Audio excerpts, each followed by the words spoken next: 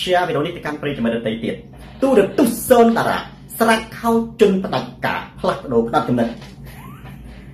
ហើយតេះដៀលបុគ្គលគួរតេះដៀលឡើងឋានសួគ៌ដូចចាប់ដាក់អួតមានន័យថាអត់ចាប់ថាខ្ញុំវាអត់អីខ្ញុំមានអីខ្ញុំអត់អីទាំងនោះបងប្អូនណាប៉ុន្តែដូចខុងមិញណាមើលរឿងសាមកុកណាខុងមិញគាត់អត់មានឃើញអ្នកនឹងមានបុណ្យស័ក្តិមានទ្រព្យសម្បត្តិមានអំណាចខ្លាំងគាត់អត់ទៅចូលទេព្រោះมันមានអ្នកណាសមឲ្យគាត់ទៅនិយាយជាមួយ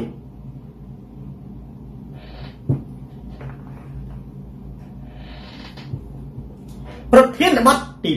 2នេះដាវីកំសុទុ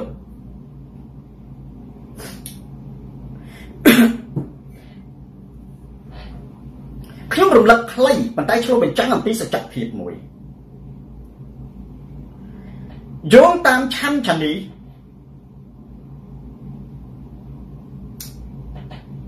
ហ៊ុនសែនអង្វរសំរាំងស៊ីដោយឲ្យគាត់20លានដុល្លារ ដើម្បីឲ្យសំរងស៊ីឈប់ជួយប្រទេសជាតិមានន័យថាម៉េចន័យចំសំរងស៊ីដោយដែលគាត់និយាយសំបីស្រមោលក៏ហ៊ុនសែនខ្លាចដែរណាគឺជា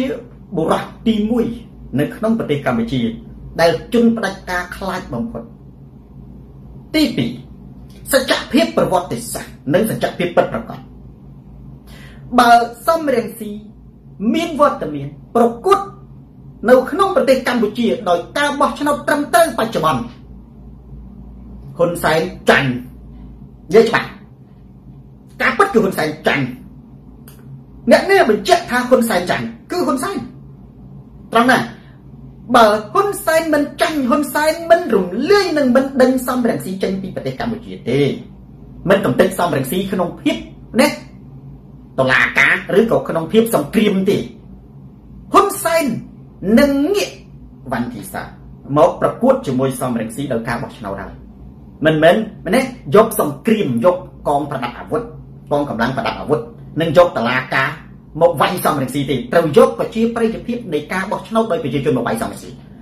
ហ៊ុនសែនខ្លួនឯងបញ្ជាក់ថាគាត់ថ្វាយបង្គំសំរងស៊ីពួកគាត់មិនហ៊ានប្រកួតការបោះឆ្នោតជាក់ស្ដែងបច្ចុប្បន្នឥឡូវនេះ ទោះបីជាហ៊ុនសែនអួតអះអាងថាគាត់ដើរផ្លូវត្រូវរឿងប្រេចមែនទេហ្វូណនទោះជាគាត់គិតថាសំរងស៊ីដើរផ្លូវខុសប៉ុន្តែដើម្បីដឹងថាខុសត្រូវឲ្យតែសំរងស៊ីបានចូលទៅក្នុងស្រុកប្រកួតបោះឆ្នោតទៅក៏ហ៊ុនសែននៅតែចាញ់សំរងស៊ីដែរនិយាយការពិតនិយាយការពិតគឺចាញ់បងប្អូនមានតែឃើញហ៊ុនសែនកំចាត់អ្នកដែលគាត់ចាញ់ទេអ្នកដែលគាត់ឈ្នះទេអត់ទេ ហេតុអីបានជាហ៊ុនសែនកំចាត់នរណាមុនគេបំផុតនៅក្នុងប្រវត្តិសាស្ត្រគឺស្ដេចព្រំព្រះហេតុអីប្រគាត់ចាញ់ស្ដេចព្រំព្រះគាត់ចាញ់បោះឆ្នោតឆ្នាំ93មិនគាត់ចាញ់ស្ដេចព្រំព្រះនាយករដ្ឋមន្ត្រីទី1ហ៊ុនសែននាយករដ្ឋមន្ត្រីទី2ដល់តែពេលដល់អាណត្តិឆ្នាំ98បោះឆ្នោតទៀតចាញ់ស្ដេចព្រំព្រះទៀតព្រោះអីព្រោះបើសិនជាគាត់អត់ចាស់ស្ដេចព្រំព្រះឲ្យដកសំរងស៊ីចេញពីក្រសួងសេដ្ឋកិច្ចទេ គាត់នៅនៅរក្សាប្រទេសនឹងតាមបែបប្រជាធិបតេយ្យបោះឆ្នោតទៅហ៊ុនសែននឹងសំរងស៊ីគាត់ទៅដឹកនាំក្រសួងសេដ្ឋកិច្ចក៏នៅល្អកងទ័ពនៃមន្ត្រីរាជការស្រឡាញ់គ្រប់គ្នាអានឹងមិនហ៊ុនសែនកាន់តែវីវហើយសំបីតែដកសំរងស៊ីនឹងចេញក៏ដោយក៏នៅតែចាញ់ដែរអញ្ចឹងគាត់ទៅតែផ្ដួល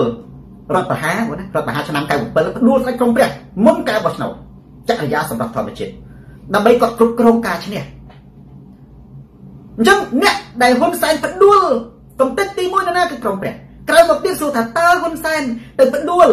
ទៅនៃកំតិចស្ដេចក្រុងព្រះនេះលែងហើយព្រោះស្ដេចក្រុងព្រះមិនអាចឈ្នះគាត់ទេគាត់មិនត្រឹមតែមិនកំតិចទេគាត់យកស្ដេចក្រុងព្រះទៅប្រើរហូតដល់ស្លាប់ទៅទៀតពេលដែលគាត់ប្លន់កៅអីសំណាងមកគណៈបក្សសង្គ្រោះជាតិគាត់មិនយកកៅអីមែនទេ Tiger Forest គាត់មិនយកកៅអីហ្នឹងទៅចែកស្ដេចក្រុងព្រះសឹមប្រហ័សប្រហ័សមួយចាប់តាំងពីគាត់កំទេចស្ដេចក្រុងព្រះបាត់មកគាត់ត្រូវតែពឹងស្ដេចក្រុងព្រះឲ្យជួយវិញហើយគាត់លែងកំទេចហើយ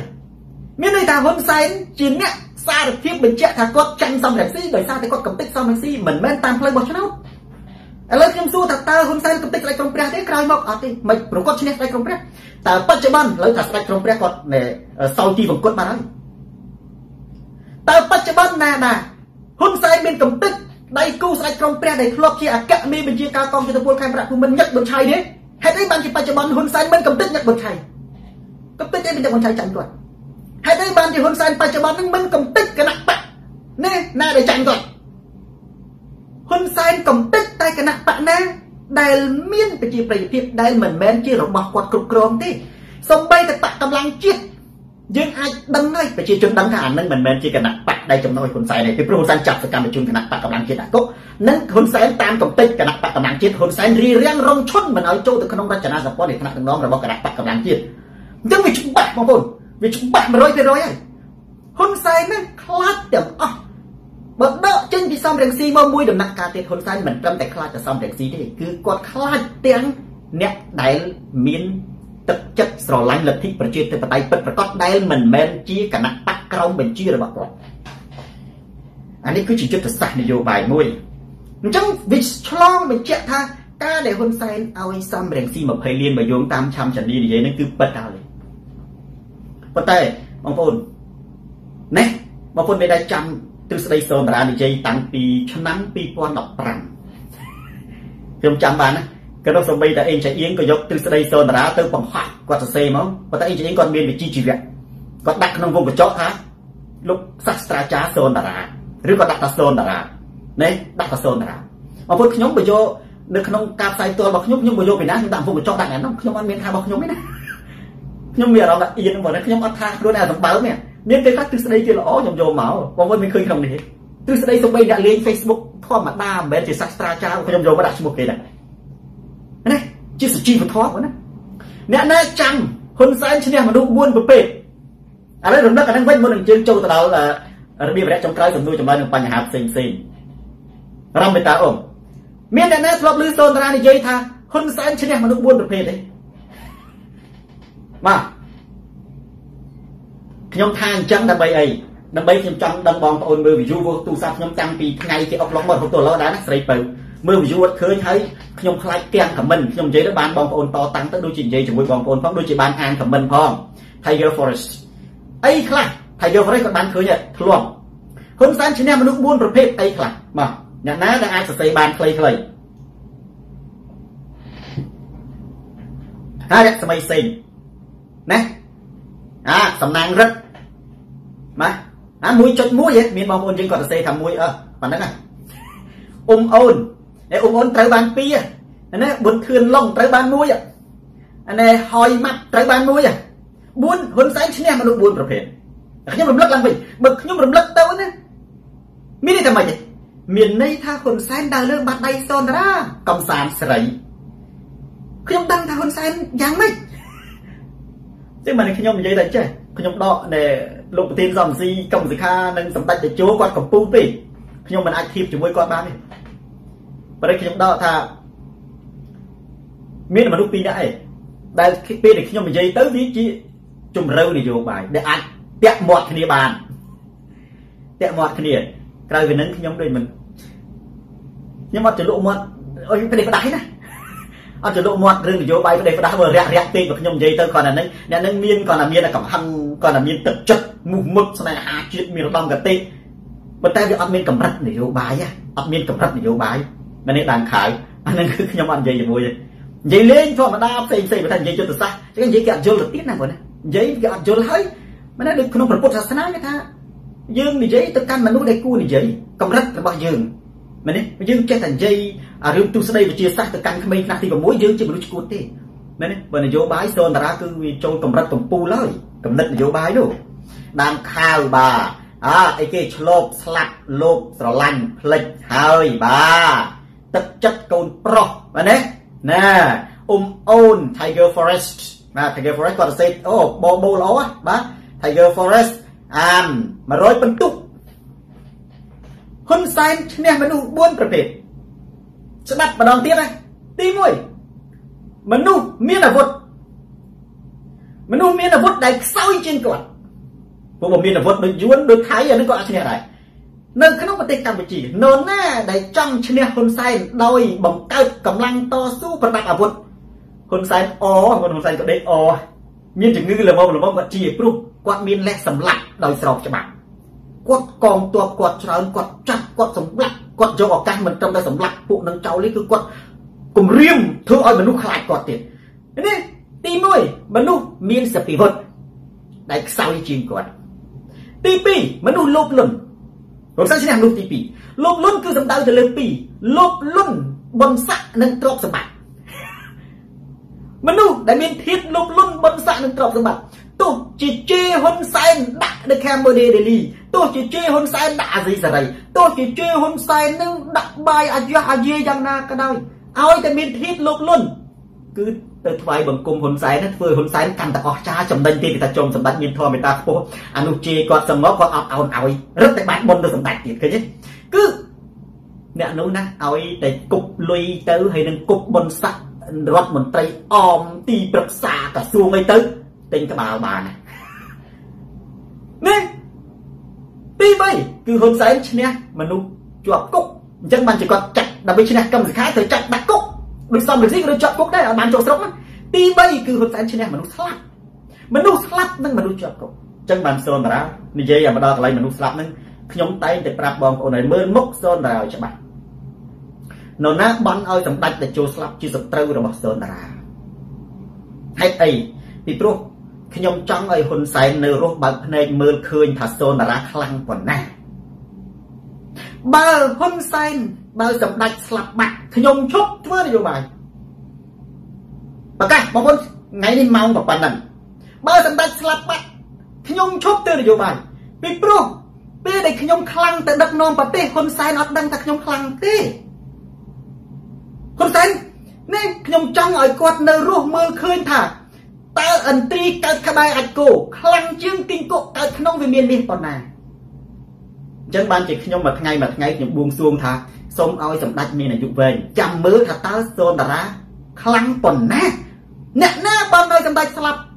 គឺជាសត្រូវរបស់សូនតារា ព្រោះសូនតារាមានចរិតមួយខុសពីហ៊ុនសែនត្រង់ថាមិនចូលចិត្តឈ្នះខ្មោចនិងអ្នកជាប់គុកដោយសម្ដេចអគ្គមហាសេនាបតីជូនសែនប្រកបដោយគតិបណ្ឌិតដកដករំថ្លៃថ្លាខ្ពស់ខ្ពស់ដែលជាមនុស្សដ៏ត្រជាក់សម្រាប់កូនចៅចៅទូតចៅរួតចលិនជាទេវតាចាប់ជាតិមកឋានសកាត់ទេវរិទ្ធសាច់ទេវតាឡើយ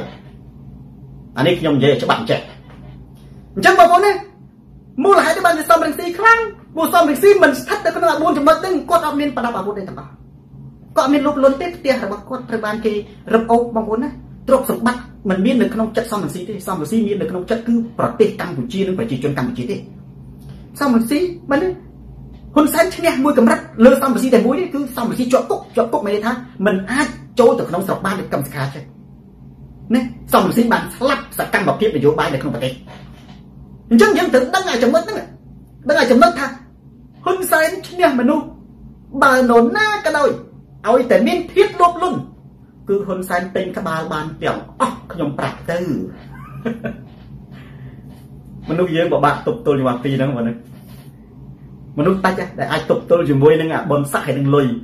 អូនណាអញ្ចឹងមកខ្ញុំឃើញអ្នកណាអួតតាម Facebook នេះខ្ញុំសរសើរទេខ្ញុំមិនថាទេខ្ញុំជាបារម្ភថាចេញមកញយញយលបែងចិត្តតែអឺតអឺតហ្នឹងឧទាហរណ៍ហ៊ុនសែនយកលុយ10លានគប់ក្បាលបែកព្រីបាត់ហើយបច្ចុប្បន្នណាបងប្អូនណា ខ្ញុំចេះតែអញើតអញើមឃើញអ្នកណាដែលអួតរឿងជេរហ៊ុនសែននេះណាខ្ញុំថាទៅដល់លើហ្នឹងហ៎មិនឥឡូវមិនពួកមនុស្សលុយវាមិនទាន់ធ្លាក់ទេបងបើកាលណាលុយគប់ក្បាលម៉ាំងព្រីហើយណាបានរដ្ឋមន្ត្រីឬក៏បានទីប្រឹក្សាហើយអាចគោឡានកិនណាបងណាលីឲ្យបាយបាយហើយណាអញ្ចឹងហើយបានជាខ្ញុំនៅម្សិលមិញខ្ញុំរំលឹកតិចខ្ញុំគោរពអ្នកដែលលាឈប់នយោបាយខ្ញុំអត់ស្ដីបន្ទោសទេមែនទេ អ្នកលេងឈប់នយោបាយមានន័យថាមិនចោះចូលមិនចោះចាញ់គឺសុកចិត្តទៅដាំតគួនតាំងពីសិនសុកចិត្តទៅដាំស្បៃសុកចិត្តទៅរកស៊ីប្រហុកសុកចិត្តទៅបើកខាងកាហ្វេមិនខ្វល់រឿងនយោបាយពីព្រោះមិនបំរើដល់កតិរបស់ខ្លួនណាអញ្ចឹងវាឆ្លុះបញ្ចាំងអំពីការពិតដែលឆំឆលីនិយាយថាហ៊ុនសែនផ្ដល់លុយដើម្បីជួលឲ្យសំរងស៊ីឈប់ស្នេហាជាតិឈប់ជួយប្រទេសជាតិអាកន្លែងនេះណា គឺកាន់តែលើកតម្លៃសំរងស៊ីហើយហ៊ុនសែនកាន់តែធ្លាក់ចុះបើយោងតាមឆាំចានីអានឹងបានជាខ្ញុំនៅតែរំលឹកបងប្អូនត្រូវចាំមកកន្លែងនេះចាំណាហ៊ុនសែនឈ្នះមនុស្ស4ប្រភេទហើយបងប្អូនពេលដែលឃើញអ្នកណាចេញមកអងអាត់ហេតុគេហ៊ុនសែនថាអញធ្លាប់នៅគណៈបព្វជិជននេះ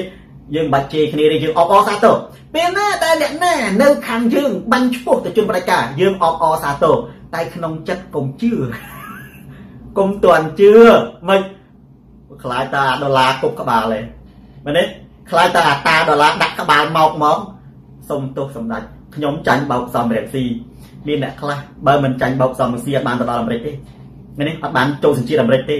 បើកុំចាញ់បោកសំរងស៊ីធ្វើពលករនៅស្រុកខ្មែរមែនទេតរឹសអេតចៃនៅស្រុកខ្មែរធ្វើពលករនៅស្រុកថៃណាអត់មានបានមកអាមេរិកធ្វើការប្រាក់ខែរាប់ពាន់រាប់ម៉ឺនដុល្លារយកលុយទៅលេងស្រុកខ្មែរទៅដើមជូនបងប្អូនមើលឪពុកមើលម្ដាយដើរលេងទេណាមានអ្នកខ្លះ នេះចាញ់បោកសំរងស៊ីបើអ្នកឯងមិនចូលគណៈបកប្រឆាំងមិនមែនជាសកម្មជនឬក៏អ្នកគ្រប់គ្រងដល់សកម្មនៅក្នុងបណ្ដាញសង្គម Facebook ទេហ៊ុនសែនមិនមែនមើលមុខទេគេគេមុខងាប់បាត់ហើយមែនទេអើហ៊ុនសែនគាត់មិនមែនទៅនេះទេនេះគណៈបកប្រជាជនយើងឃើញហើយមួយចំនួនហ្នឹងគ្នាខំជេរសំរងស៊ីដាច់បាយដាច់ទឹកហ្នឹងអឺឡានជួនចិនដា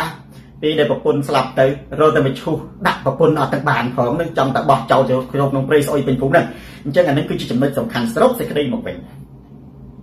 នៅក្នុងប្រធានបទទី2នេះរឿងហ៊ុនសែនចង់ឲ្យសំរងស៊ី20លានដុល្លារដើម្បីឲ្យសំរងស៊ីឈប់ជួយជាតិនេះខ្ញុំគ្រាន់តែរំលឹកទៅលើទ្រឹស្ដីសូនតារារស្មីសេងចន្ទនិសន្តនាតាំងពី2015រហូតបងប្អូនពី2015បន្ទល់ឥឡូវប្រហែល9ឆ្នាំនៅតែត្រូវអញ្ចឹងគឺ ហ៊ុនសែនឈ្នះមនុស្ស4ប្រភេទទី1មនុស្សមានសតិវត្តដែលខ្សោយជាងគាត់គាត់មានលេសកំចាត់សបាយណាស់ទី2មនុស្សលោភលន់លោភលន់គឺបុណ្យស័ក្តិនិងទ្រព្យសម្បត្តិទោះជាប្រកាយយ៉ាងណាក៏ដោយហ៊ុនសែនយកតាដុល្លារគប់ក្បាលទៅបែកទៅគ្នាទី3មនុស្សជាប់គុកទី4មនុស្សស្លាប់ហើយចំណុចទី4សម្រាប់សូនតារាគឺចូលចិត្តឈ្នះតែមនុស្សរស់ទេហើយខ្ញុំចង់ឲ្យសម្ដេចនៅមានជីវិតសុខភាពល្អដើម្បីមើលឃើញថាតើសូនតារាខ្លាំងប៉ុណ្ណា បើសម្ដេចស្លាប់បាត់ខ្ញុំឈប់ធ្វើនយោបាយពីព្រោះទោះជាខ្ញុំខ្លាំងក៏អត់មានន័យអីដែរហ៊ុនសែនមើលអត់ឃើញប្រិយមិត្ត share វីដេអូនេះទៅកាន់ប្រិយមិត្តដទៃទៀតប៉ែនស្រីមុំមុំទូរទស្សន៍សូនតារាសំណាងមកស្រាប់ខោជន់ផ្ដាច់ការផ្លាស់ប្ដូរផ្នត់កំណត់យើងថ្ងៃនេះមានម៉ោងមកប៉ុណ្ណាចូលទៅដល់របៀបរយៈចុងក្រោយសំណួរចម្លើយនិងបញ្ហាផ្សេងផ្សេងថាតែអញ្ចឹងសំណួរចម្លើយបញ្ហាផ្សេងផ្សេងប៉ុន្តែដល់អត់មានសំណួរទៅខ្ញុំចប់ដែរបងណា បងប្អូនត្រូវគិតថាអង្គុយនិយាយ1ម៉ោងបងអី1ម៉ោងកន្លះអង្គុយនិយាយ1ម៉ោងកន្លះណាមិនមិននិយាយមានអ្នកសម្របសម្រួលទេណាអ្នកណាធ្លាប់ធ្វើគ្រូយល់ហើយធ្វើគ្រូកុំថាឡើយនិយាយ1ម៉ោងកន្លះនិយាយជាមួយសិស្សដូរចុះដូរឡើងហ្នឹងណានិយាយចប់ហត់ណានិយាយចប់រកសម្រាប់តិចដែរបងប្អូនណាអាហ្នឹងលេងទៅ1ម៉ោងកន្លះគេហៅថា direct ត្រង់ចេះ monkey king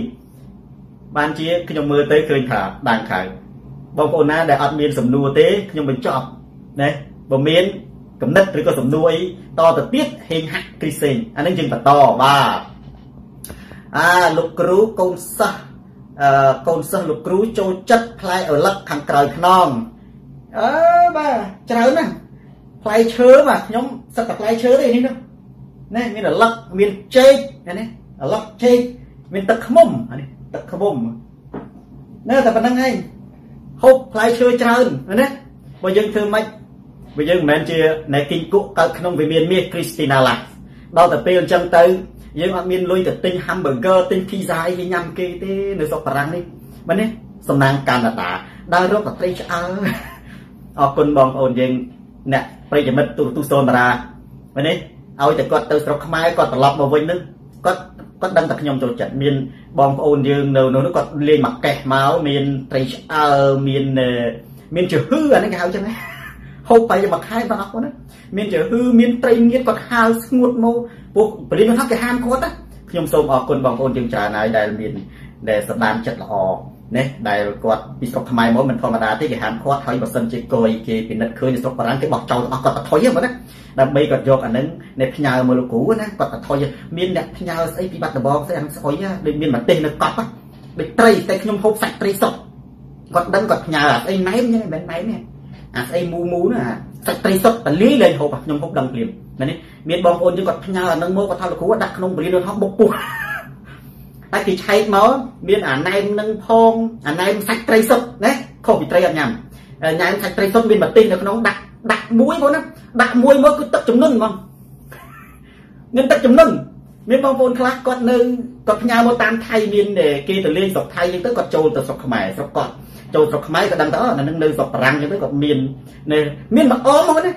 មកអមខ្ញុំនេះមកអមនេះមិនមែនស្រុកបារាំងសុំទៅខ្ញុំយកមើលមួយសិនជិះអានេះបញ្ហាផ្សេងផ្សេងនេះ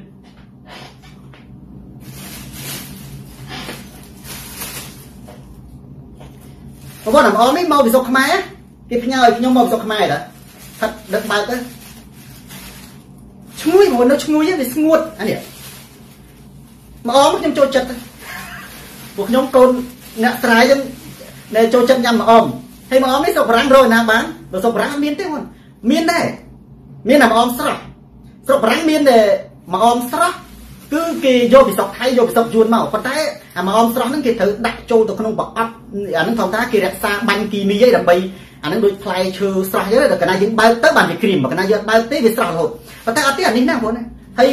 គេឲ្យមកមួយស្បូងធំខ្ញុំហូបប្រហែលជាកន្លះឆ្នាំហើយស្លមកជួយហ្នឹងកន្លះឆ្នាំហើយបាទរស្មីសេបានមិនទាន់អស់ហើយអានេះនៅសល់បាយស្លបាយ4 5ដងទៀតបើញីទៅឈ្ងុយឆ្ងាញ់ណា ចឹងបានបងប្អូននិយាយរឿងរលឹកនិយាយលេងទៅអរគុណយើងធ្វើនេះការដឹងគុណគឺជាគុណធម៌ខ្ញុំសូមអរគុណបងប្អូនយើងនៅប្រទេសកម្ពុជាបាទមួយចំនួនដែលគាត់អ្នកស្រុកបារាំងនៅក៏អ្នកស្រុកខ្មែរទេដែលគាត់ផ្ញើតាមអ្នកស្រុកបារាំងមកគឺមានត្រីងៀតមានត្រីឆ្លូញ មានជើហឺមានមកអមមានអីហ្នឹងមកកប៉ិកកពុកមកឲ្យមកឡាំងណាបថុយអាហ្នឹងណាគាត់សិតបថុយហើយអញ្ចឹងយើងអរគុណបាទនេះអរគុណយើងដឹងគុណគឺជាគុណធម៌ហើយអឺអានឹងគឺហើយមួយទៀតបងប្អូនដូចជានៅបាត់ដំបងម្នាក់ដែលគាត់មិនបញ្ចេញឈ្មោះទេបាទនេះគាត់ផ្ញើស្អីនឹងមកអស់ហើយអាហ្នឹងគេផ្ញើអាសាច់ត្រីអានេះដាក់មកទេសលើកណ្ដាលអាហ្នឹងចំណែកនឹងគេស្អីទេអាហ្នឹងដែរដូចវិចស្លឹកឈើដូចវិចម្លូអូអាហ្នឹងឆ្ងាញ់ណាស់អានេះឆ្ងាញ់មែនតើមកណា ប៉ុន្តែដាក់ទៅទឹកចំនួនហូរតាមភ្នែកអញ្ចឹងវាហឹលបាទយើងបន្តទៀតសម្រស់ចរិយាបាទសួរអីគេអាហ្នឹងសួរអឺថាម៉េចបាទមើលដាច់ទៅសំណាងមកបាទ you eat a lot of fruit make you healthy បាទសុខភាពល្អខ្ញុំញ៉ាំពាក្យច្រើនផ្លែឈើទេបាទអាហារពេលព្រឹករបស់ខ្ញុំគឺចេកហើយនឹងកាហ្វេបាទបាទដាំខាវសង្ខេងព្រំសង្វាក់អាហ្នឹងហើយរត់នឹកវាមិនឃើញយើងវា ហ្នឹងហើយសង្ខេងសង្វាក់ខ្ញុំមានបងប្អូនយើងមិនដឹងពីណាទេតែភាគច្រើនអ្នកញ៉ាំសូនក្រាមដែរបង្ហាញមុខហ្នឹងណាគេមិនដែរទៅចង់តែអីលោកគ្រូឲ្យថតអីអត់ខ្ញុំរកតែមុខមិនឃើញផងណាដឹងពីណាពីណីមក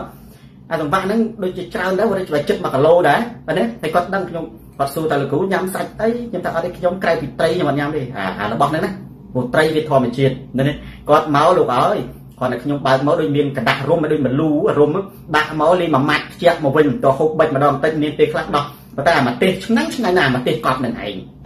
ជន់តាបាទនិយាយរឿងរបស់ហូបឃ្លានទៀតហើយអើខ្ញុំនេះកំពុងតែស្រស់ទឹកមាត់ហើយ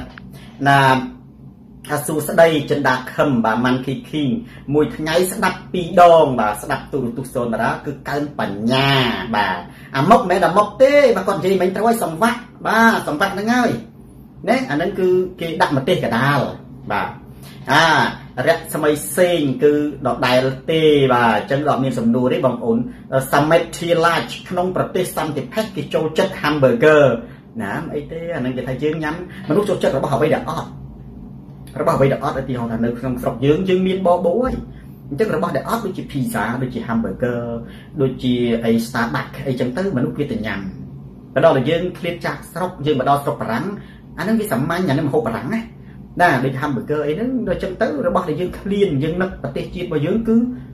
ត្រីឆ្លូញត្រីងៀតចាហឺអីណាផងសង្វាក់អីហ្នឹងហើយមើលហើយសង្វាក់អីហ្នឹងអាទាំងអស់ហ្នឹងហើយមកអមអីត្រីឆ្អើត្រីឆ្អើក្នុងទូណាក្នុងទូខ្ញុំមកខាងលើទឹកតែត្រីឆ្អើត្រីងៀតដល់អស់ហើយត្រីឆ្អើនៅសល់ប្រហែលថាយើង2 3កតុយដែរប៉ុណ្ណាហើយសិតតែបងប្អូនយើងគាត់ផ្ញើមកទេបាទ អញ្ចឹងប្រិយមិត្តមើលទៅដូចអត់មានអីទេហើយដោយសារតែពេលវេលាមានកំណត់ផងចិនតាខ្ញុំសូមបញ្ចប់ការផ្សាយផ្ទាល់តែត្រឹមតែចប់អរគុណប្រិយមិត្តដែលបានតាមដានទស្សនាការផ្សាយផ្ទាល់នេះតាំងពីដើមរហូតដល់ចប់